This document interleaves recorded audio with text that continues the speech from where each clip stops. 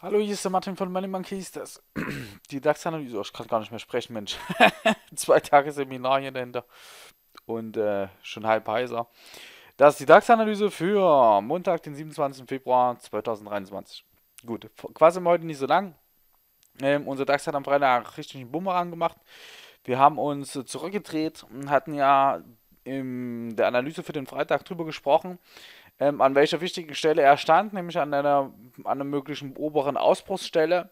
Das Einzige, was er hätte machen müssen, wäre über 55 ge äh, zu gehen. Wir hatten gesagt, oberhalb von 55 hätte er eine super gute Vorlage, oben rauszukommen.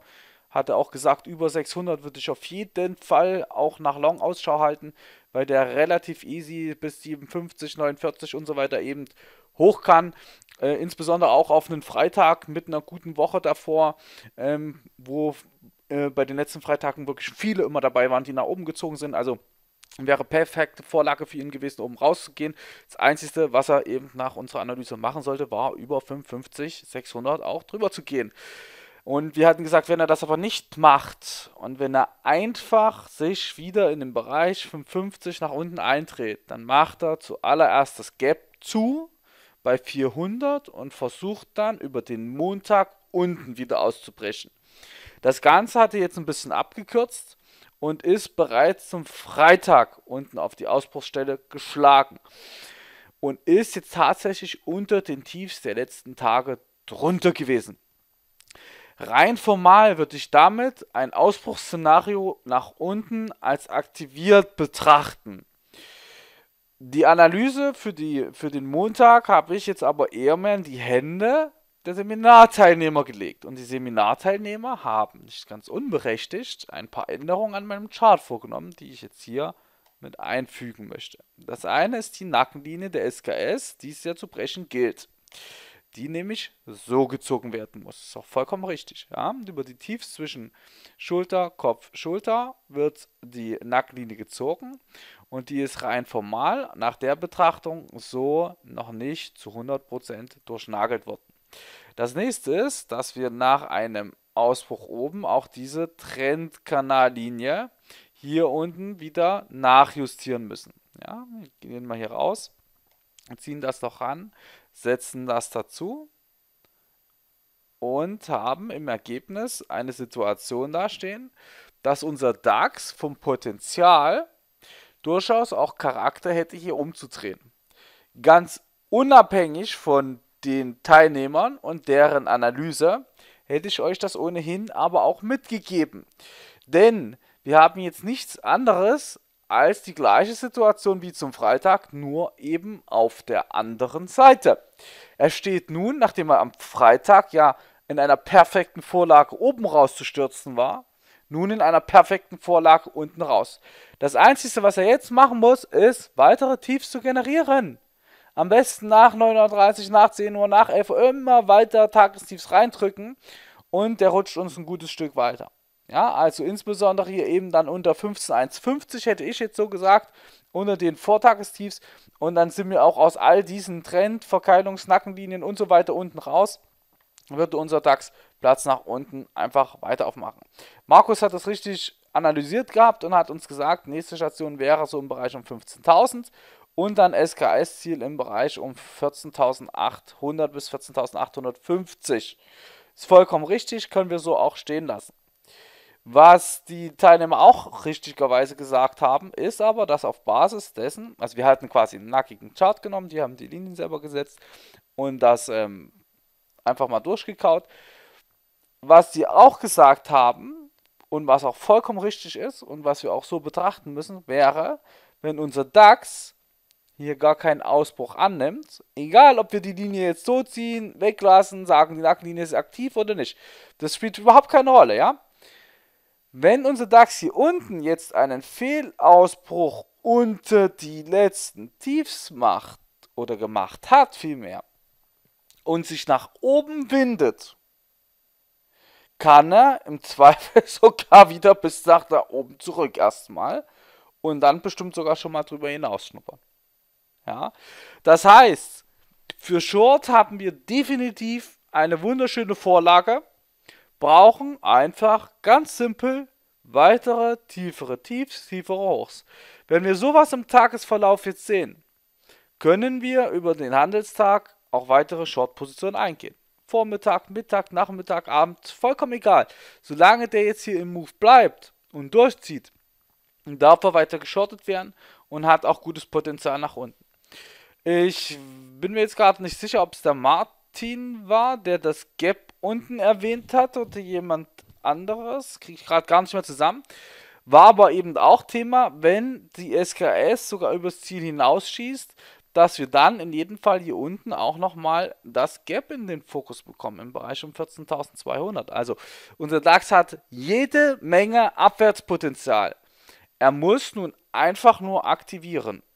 Wartet dieses Aktivieren, dieses Bestätigen aber auch bitte ab. Ihr habt das am Freitag gesehen. Viele haben nicht abgewartet. Die haben nur gehört, der DAX kann steigen, der DAX hat eine gute Wahrscheinlichkeit, oben bis 57 zu ziehen und haben einfach dieses, wenn er über 55 steigt, ausgeklammert und sind halt einfach so reingegangen.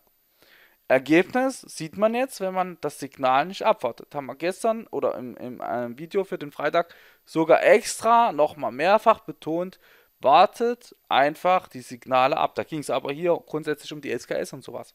Ja.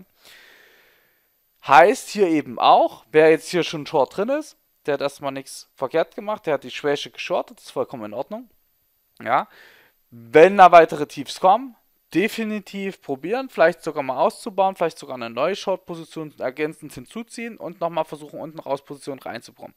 Dreht der aber nicht und er fummelt uns nach 39, 10 Uhr keine neuen Tagestiefs, sondern Tageshochs rein oder kommt mit Abwärtsgap rein, verkauft es direkt hoch und zieht dann auch drüber, würde ich alles, was hier über 290, 300 geht, im Zweifel erstmal bis 15.410 rechnen und im zweiten sogar einmal über dieses hoch drüber. Und dann macht er nach Fehlausbruch unten noch einen Fehlausbruch oben hinterher und hat wieder ganz typisches DAX-Pattern abgeliefert.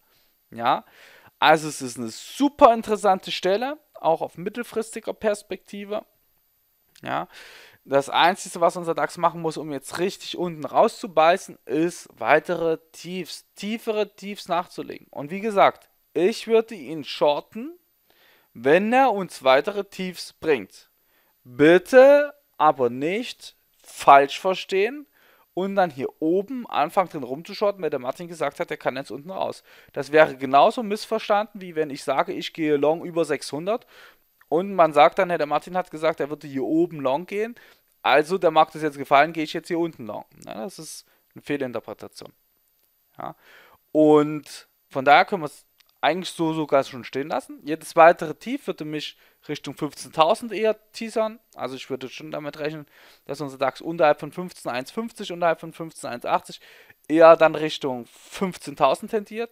Ja, haben die Seminarteilnehmer auch vollkommen richtig analysiert und hergeleitet. Und dann eben auch 14,850, 14,830. Sollte der sich aber einfach nur drehen, und das kam eben auch von den Seminarteilnehmern als Hinweis, dass die letzten Kerzen ja abgebremst haben. Er hat ja hier sehr dynamisch nach unten gelegt und hat dann über den Schluss schon angefangen, etwas abzuflachen. Und jetzt fehlt eigentlich nur noch, auch mit dem Doji hier ganz hinten dran, ein Aufdrehen und er könnte schon wieder richtig Schmack nach oben entfalten. Das ist vollkommen richtig, würde ich hier auch so gelten lassen und deswegen sagen, dreht er sich hoch, macht uns nach 39, nach 10 Uhr noch weitere Tageshochs, kann dann locker bis in die 400 rein und bestimmt sogar auch über 55 einmal noch drüber. Ja, und von daher würde ich das so einfach mal stehen lassen und dann wartet es ab. Macht es nicht zu früh und handelt vor allen Dingen nicht gegen den Markt. Wenn ihr Schwäche seht, selbst wenn ich es in der Analyse so sagen würde, dass der Markt dann richtig nach oben performt, handelt nicht gegen eine Schwäche Long und handelt nicht gegen Stärke Short. Das macht man nicht. Ganz egal, wer irgendwo was sagt, das macht man nicht. Man handelt nicht, wenn der Markt brutal in die Knie geht, Long drin rum, sondern Short, weil es viel einfacher geht. Ja, das ist wichtig. Ja? Und dann kriegt man eben sowas auch vermieden, dass man hier an so einem Tag halt richtig auf die Schnauze kriegt, sondern ist dann vielleicht sogar mit dabei. Unsere Lisa hat sich auch Short eingetriggert, obwohl ich eigentlich ja Long gehen wollte, oberhalb von 15.600. Aber er hat es mir ja nicht geboten. Er hat es mir nicht geboten. Was hat er stattdessen gemacht? Hat sich unter 55 runtergedreht. Und in dem Falle sollte er bis 14, äh, bis 15,400. Also haben wir unsere Elisa da 15, ich weiß gar nicht, 15,440 oder 15,450 oder wo sie rein ist, auch nochmal Short mit reingelegt. Na, weil wir versuchen, mit dem Markt zu gehen, mit dem Markt zu handeln. Und deswegen hier Obacht, wenn der aus dem Schlusskerzensatz heraus eine Drehung nach oben hochzwirbelt, dann kommt er wieder echt weit zurück und hat hier unten einen Fehlausbruch stehen lassen. Ja, um unten rauszukommen, muss er wirklich unter das Tief, unter 15,180, unter 15,150 weiter nach unten drücken. Tiefere Tiefs, tiefere Hoch, tiefere Tiefs, tiefere Hochs. Ja, wenn ihr sowas seht, Short, Short, Short, Short, Short, Short, Short, vollkommen legitim. Okay? Gut, dann würde ich hiermit Video zumachen, wünsche euch viel Erfolg zum Montag, gutes Gelingen und dann hören wir uns morgen wieder. Bis dann, tschüss.